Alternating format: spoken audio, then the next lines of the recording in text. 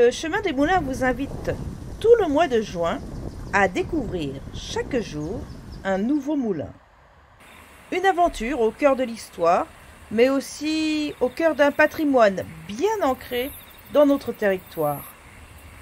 À partir de nos indices, à vous de deviner le moulin du jour.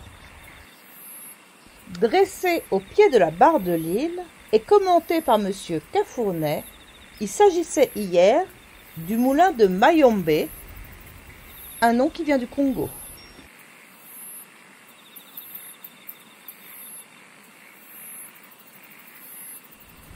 Le chemin d'aujourd'hui nous entraîne du côté de Vieux-Fort, avec un moulin bien entretenu dans un magnifique paysage.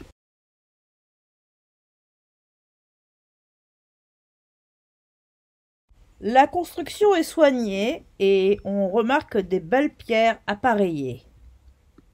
Il s'agit de pierres calcaires, comme en témoigne cet étonnant fossile. À l'époque révolutionnaire, c'était une riche plantation de coton.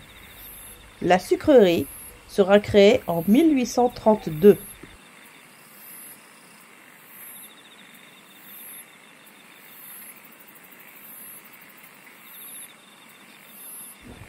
On remarque une très belle cheminée qui a une forme euh, conique. Elle est montée sur un piédestal appelé pied-douche. Cette cheminée est le seul vestige de la sucrerie.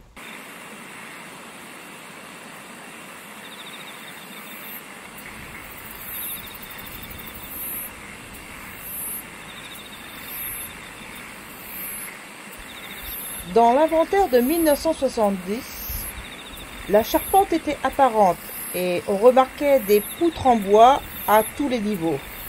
Aujourd'hui, il n'y a plus de traces de cette charpente. Bien entretenu, appartient à un propriétaire privé.